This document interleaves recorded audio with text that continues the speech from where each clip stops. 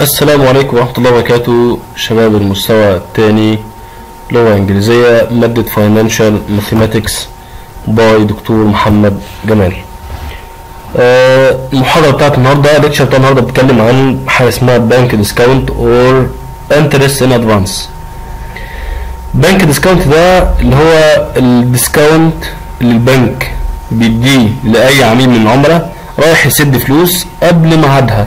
يعني مثلا أنا عليا 1000 جنيه مستحق بعد سنة لا أنا رايح أقدمه دلوقتي. فالبنك علشان خاطر يكافئني فبيديني حاجة اسمها bank discount or interest in advance لأن كده خلاص يعتبر زي interest أنا بستفيد بيها. ما أنا كنت رايح النهارده أدفع 1000 جنيه كانت عليا في البنك. المفروض أدفعها بعد سنة. البنك اداني مكافأة. خصم لي مثلا بتاع مثلا 50 جنيه. يبقى البنك عمل لي مكافأة اللي هو خصم. ال 50 جنيه دي بالنسبة لي أنا ك customers أو كعميل بتمثل بالنسبة لنا إيه؟ برضه ممكن أعتبر إنها فايدة لي أنا. البنك بيسميها بالنسبة له إيه؟ bank discount هو ده باختصار شديد معنى bank discount or interest in advance عندنا ال rule بتاعنا بيقول إن ال S إن ال capital D capital D اللي هي اللي هو بيمثل bank discount or interest in advance equal multiply capital S multiply D multiply N يبقى هو ده ال rule اللي اساسي اللي أنا بتعامل بيه علشان أقدر أجيب حاجة اسمها bank discount طيب إيه ال S ده؟ ال S ده بيعبر عن the maturity value زي ما هو موضح قدامكم. إيه ال maturity value دي؟ دي يا جماعة القيمة اللي أنا رايح أدفعها للبنك. أنا رايح أدفع 1000 جنيه للبنك. هو ده ال S هي دي القيمة الكاملة. أوقات كمان ممكن ترجمتها الحرفية يعني اسمها القيمة الاسمية. القيمه اللي أنا رايح أدفعها للبنك بشكل فعلي. اسمها S capital S multiply D ال D ده بيعبر عن زي ما مكتوب قدامكم ادى discount rate per year ده معدل الخصم في السنة.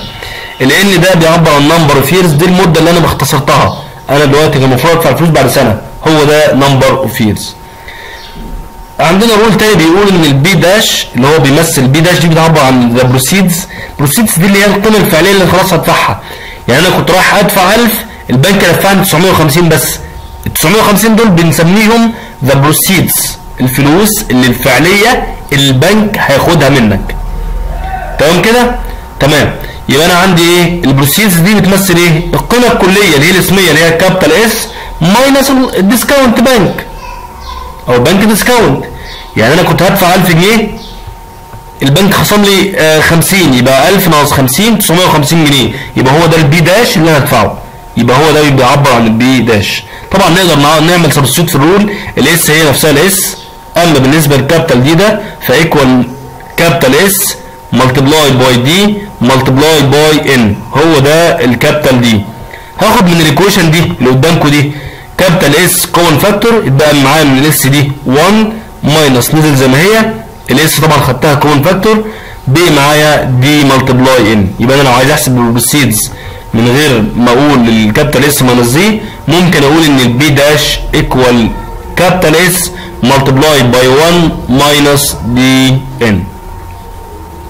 هو ده ال rule بتاع ال bank discount نقول مثال بشكل سريع على ال bank discount ده. بيقول لك find the bank discount يعني عايز ال capital D and the proceeds يعني عايز ال P dash كمان. On a bank loan of 6000 livre Egyptian for 6 months at 10% interest in advance. بيقول لك احسب ال bank discount وال proceeds لمبلغ كان 6000 جنيه اختصر اختصر 6 شهور. بالنسبة اللي هي ال interest هي دي 10% يبقى أنا عندي capital S اللي هو القيمة الفعلية اللي القيمة الاسمية اللي هدفعها المفروض أدفعها S اللي هي ال maturity value. equal 6000 وال D discount rate أو زي ما مكتوب قدامكم أهي 10% أما ال N هي اسمها بتعبر بيساوي ال N equal 6 months طبعا بنعمل over 12 علشان خاطر السنة فيها كام شهر؟ 12 شهر. يعني هو قال لك اختصر 6 شهور. إحنا بنحسب بالسنين. فعشان كده قلنا 6 6 over 12 طبعا هنعمل substituting in the above rule اللي إحنا خدناه قبل كده اللي كان بيقول إن ال capital D equal capital S multiply by D multiply by N اعمل substitute كده ال S ال value بتاعتها اهي 6000 6000 اهي.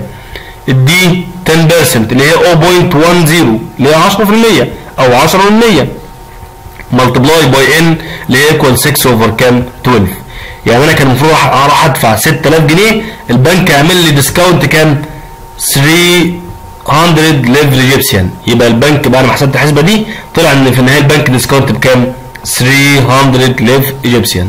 طب أنا دلوقتي كنت رايح أدفع 6 البنك عمل لي 300 خصم. يبقى ال proceeds اللي هو الفعلي اللي هدفعه كان كام؟ يبقى هو ال proceeds ده equal capital S اللي هي 6000 minus D اللي هي 300 يبقى equal 5700 livre Egyptian. هو ده المثال بكل بساطة. مش أكتر من إن أنا عملت substitute in the rule يبقى هو بعمل preserve لل rule ده بقول D equal capital S multiply D multiply N وأعمل substitute جبت ال bank discount أقدر أجيب القيمة الفعلية اللي هي بتمثل proceeds اللي هي P dash زي ما أنتم شايفين. مثال تاني برضو يعبر عن نفس الموضوع. والله بيقول إن سارة borrowed 3000 livre Egyptian for 4 months from a bank that charges a discount rate of 9% find the discount and the proceeds بيقول لك إن سارة واخدة 3000 جنيه زي قرض لمدة أربع شهور يبقى عندي معنى كده إن ال S capital S 3000 for 4 months in 4 over 12 عشان خاطر إحنا بنتعامل بالنسبة للسنة. ف 4 months يبقى over 12 12 months ال percent بتاع ال discount rate عندك 9% برضه بنفس الطريقة. هتعمل substitute in the rule يبقى capital D equal capital S multiply D multiply N تقدر تقول تعمل substitute بقى من ال values اللي عندك. ال capital S عندك.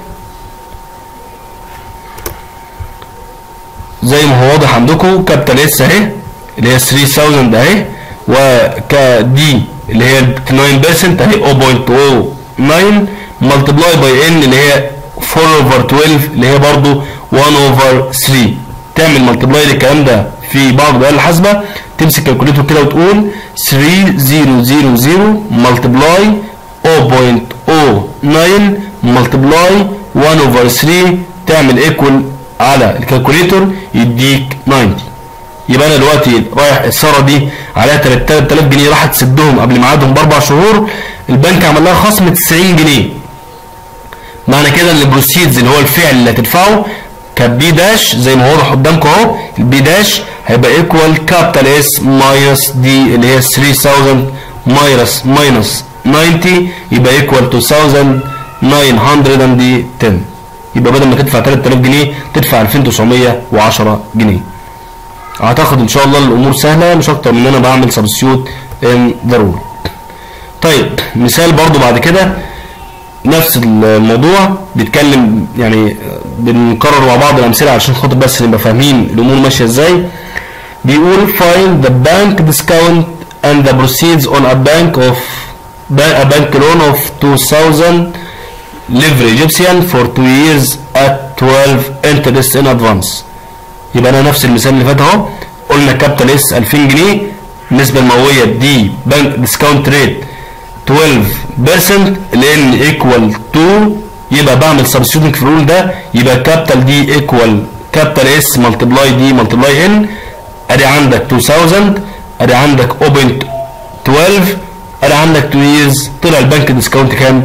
440 جنيه. ده ال bank discount 440 طبعا ده ال bank discount المفروض بدل بدل ما هو الشخص ده يدفع كان هيدفع ادي 2000 جنيه اهي؟ يبقى هو ال proceeds equal 2000 جنيه كلهم مع 740 جنيه 2000 minus 440 equal 1560 ده بيمثل ال proceeds. يبقى الراجل إن هو راح يقدم الفلوس قبل ميعادها بسنتين وفر على نفسه مبلغ 440 440 جنيه. بدل ما يدفع 2000 جنيه دفع بس 1560 جنيه. طبعا ممكن يعني نلعب في المثال شوية. نقول مثلا زي المثال اللي هو اللي جاي ده. بيقول محمد بورد 3000 جنيه from a bank for 2 years. واخد فلوسه بقى واخدهم لمدة سنتين. He want to pay the demand money to the bank now. عايز يرد الفلوس البنك دلوقتي. البنك اداله البنك ورا لما راح يقدم له الفلوس دي.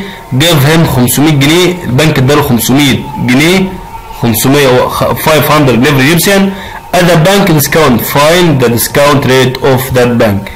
يعني واحد محمد ده عليه 3000 جنيه البنك المفروض يسدهم بعد سنتين حب يسدهم دلوقتي البنك اداله 500 جنيه ك discount bank أو bank discount فبيقول لك find d طبعا زي ما هو قدامكم أنا عندي capital S equal 3000 ال n number of years two years في النهاية ال capital D مش small d بقى capital D equal 500 طبعا بنرجع لنفس ال rule ال rule بيقول إن D equal capital D equal capital S multiply small d multiply n أنا هنا عايز من ال rule ده small d فبقول small d equal D capital أو capital D دي over S اللي هي capital S multiply n يبقى الكلام ده equal عندك capital D دي اللي هي 500 over 3000 اللي هو capital S multiply by 2 يبقى الناتج بتاعك equal 0.083 يبقى دي يا جماعة لو أنا حابب أجيبه ك percent